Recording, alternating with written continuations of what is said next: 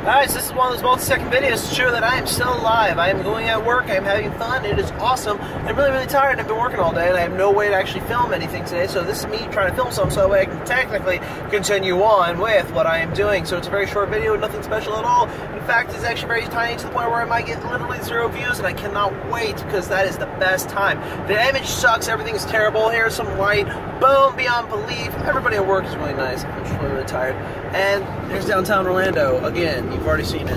It's fantastic, isn't it? Well, I'm really, really tired. I'm gonna go to bed, so I'm literally gonna fall asleep in the middle of this car right now because I-4 sucks. Even at freaking almost midnight, it's like literally 11:35. I am like, why so many people? Yeah, I don't care. The theme parks. It does not matter. There's a lot of people. I'm just really, really tired, and like anything I say is probably just gonna sound like crap. So I'm just gonna end this video right around here, and this is like a less than one minute video. So thank you for watching. If you're dumb enough to do so, thank you. Enjoy.